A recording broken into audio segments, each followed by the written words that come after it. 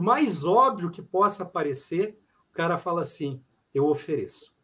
Então, meus amigos, que nós continuemos oferecendo produtos para os nossos segurados.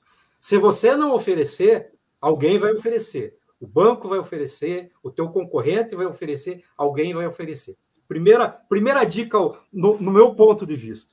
Eu, eu, eu, eu coloquei três pontos aqui, é, Spésia, que vem muito de encontro que você falou. Segundo ponto, atualização e conhecimento contínuo.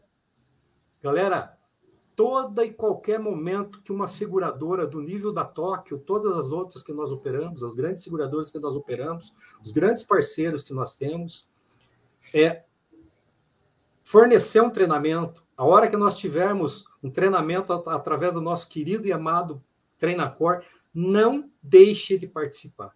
Você não está perdendo tempo você está se atualizando e você está tendo conhecimento.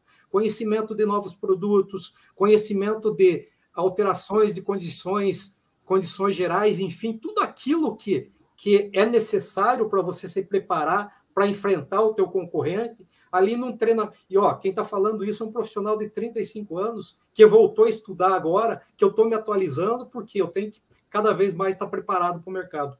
Complementando aqui, Spesa, também, eu falei conhecimento do conhecimento do segurado. Conhecimento do segurado pode até se tornar repetitivo, né? Mas é o óbvio tem que ser dito mais uma vez.